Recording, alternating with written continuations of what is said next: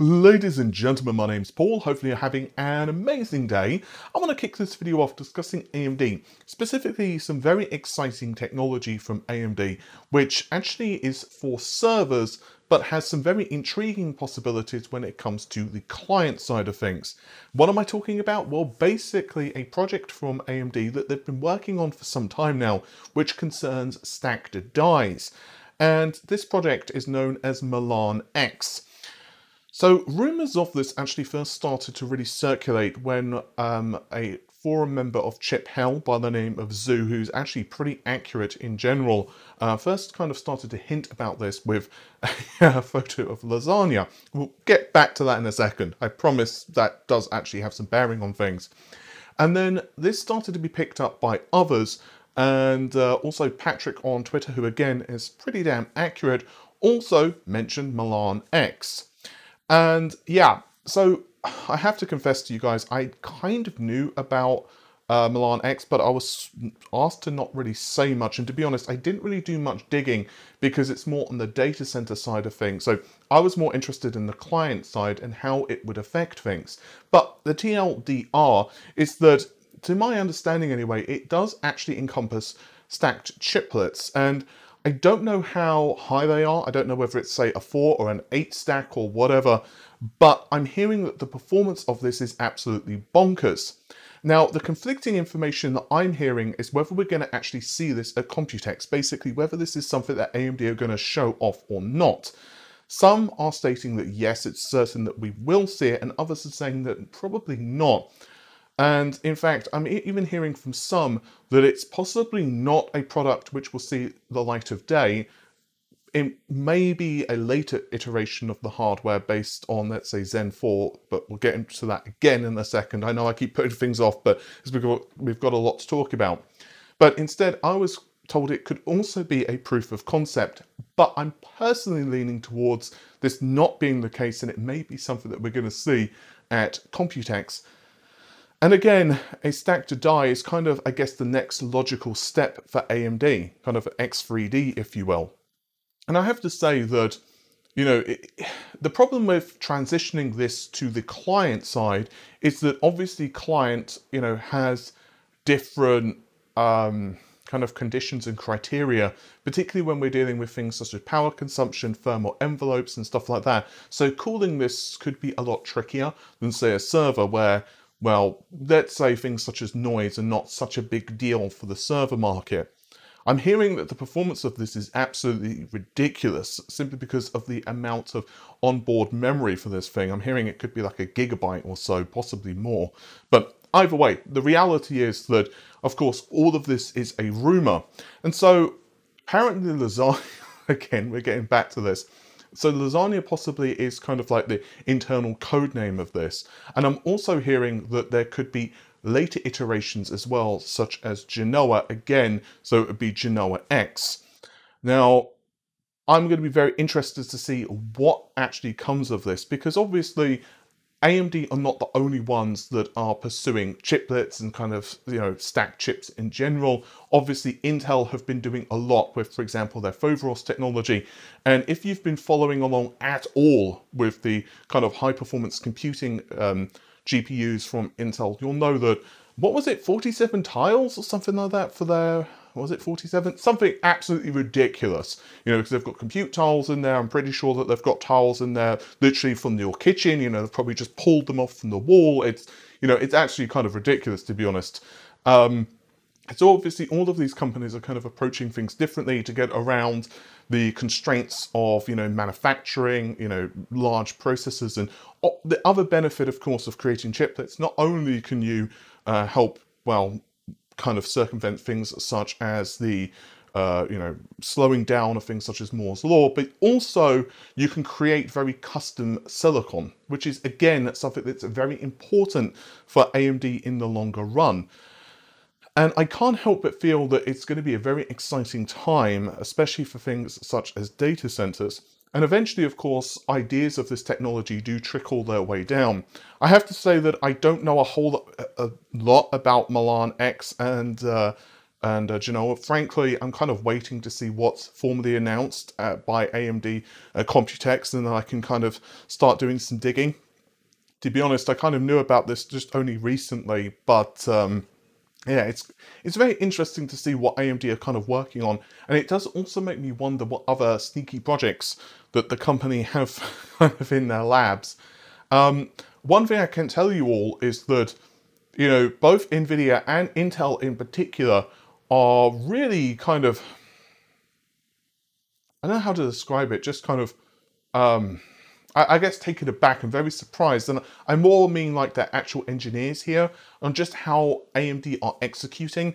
I wouldn't say that AMD's execution is flawless. And if you look at them as a company as a whole, there are still weaknesses in their kind of marketing and lineup and stuff like that. But I do think AMD are doing a lot better. And clearly one of the big reasons for this is that AMD's R&D has increased significantly. You know, you can do just a quick Google on that yourself, you can see that the R&D budgets from AMD are basically increasing exponentially because obviously previously they were very much struggling. We can argue that Zen, it was, to be honest, it was kind of like a last, it was kind of like a last effort from AMD to be honest, to be competitive. Um, you know, you can even look back at their share price where at one point they were trading what was it, under like $2 or something like that. And now, obviously, they've gone strength to strength. So AMD's execution is really on par at the moment. And if Milan X is accurate, and frankly, I believe it is because I've been told by multiple people that it's true, although one of my sources actually had the name wrong. They told me it was X Milan, but it doesn't really matter. The, you know, the, the basics is that still to my understanding, this is definitely real. The only confusion I've got is whether it's an actual product which is going to be released or whether it's more of a proof of concept slash kind of, you know, an internal thing that never sees the light of day. Personally, I do think it's a product, however, which will be shown off by AMD. And speaking of things which are going to be shown off by AMD, just another quickie. Yep, I'm giving you guys another quickie. Basically, FSR is looking almost certain to be shown off very soon and possibly at Computex. I'm hearing that journalists are most likely going to be briefed soon as well. And this is going to have some very interesting ramifications in graphics. You know, we've covered FSR multiple times at this point. I even had an interview with Frank Azor and we were kind of discussing what AMD's plans are for an open ecosystem. And I just keep going back to how I think that NVIDIA are going to counter FSR. And obviously, you know, the release of the RTX 3080 Ti, for example, and 3070 Ti, and AMD's announcement of FSR is not a coincidence. Obviously, each of them are trying to one up the other in terms of like announcements. And I do think that AMD's software side of things um, not having an upsampling solution has been definitely a, re a really big weak point. I know even outside of the shortages of hardware, quite a few people I know have been kind of looking at the RX 6000 series and, you know, my friends are like, I really want this card, but it's got no upsampling tech. When's it going to be ready? When's it going to be ready?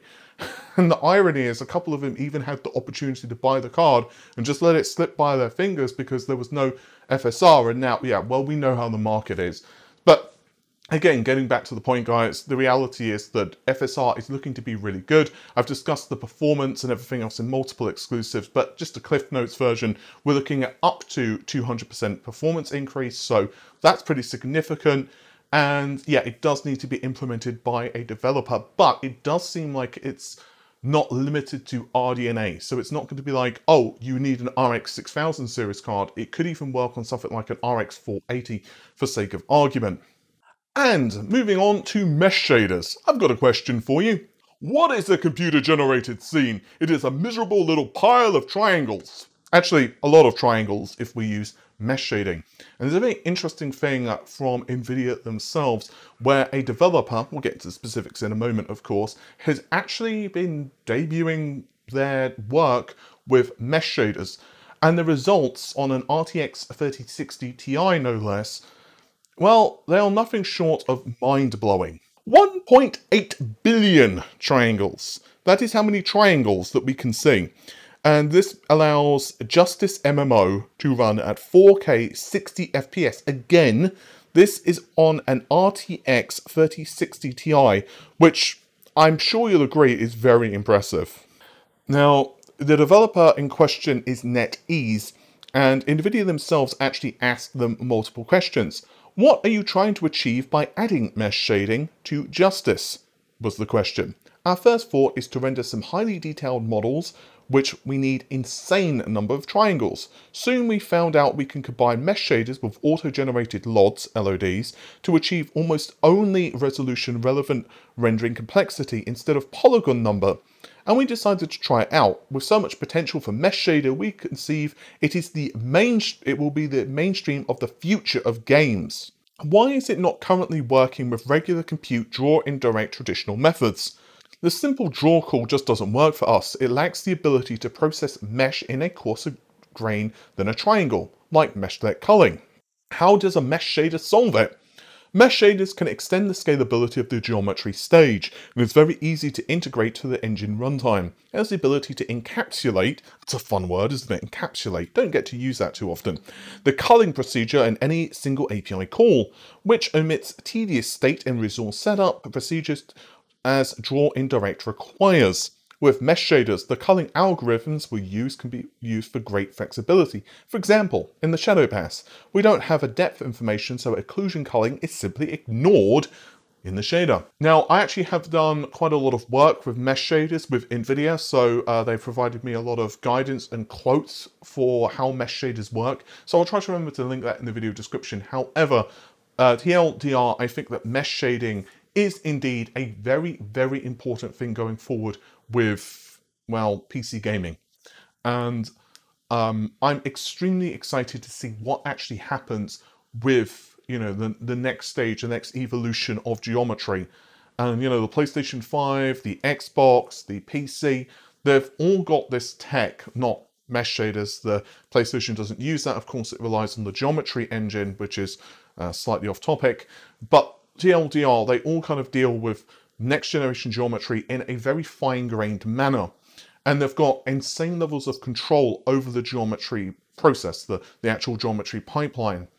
And, you know, I kind of remember when Direct, you know, if you go back in the day, uh, when we were talking a lot about DirectX 12 and how, you know, low-level APIs like uh, man, uh, well, I guess it was Mantle back then, but then it started to transition to both Vulkan and DirectX 12, and how draw calls were like everything. Because obviously there were a lot of limitations with like let's say DX11 and you it, wasn't exactly the best for a ton of CPU cores let's just be honest. And of course at this point we're well and truly transitioned to like uh, quad core processors with multiple threads but the issue was that you could only have like one or two threads easily be able to issue draw calls. And that was a really big limitation with PCs back in the day. And, you know, I kind of did uh, some testing on that. And I have to say that I do think that, you know, this is like the next barrier, right? To be able to actually have this level of control. I'm extremely excited to see what the future of gaming actually looks like in the next couple of years. But with that said, I think I've taken enough of your time and I've rambled. So Thanks very much for checking out the video. If you've enjoyed it, of course, leave a like on the video because the YouTube algorithm and also subscribe to the channel, again, because YouTube algorithm. And I'll see you soon. Take care of yourselves. Bye for now.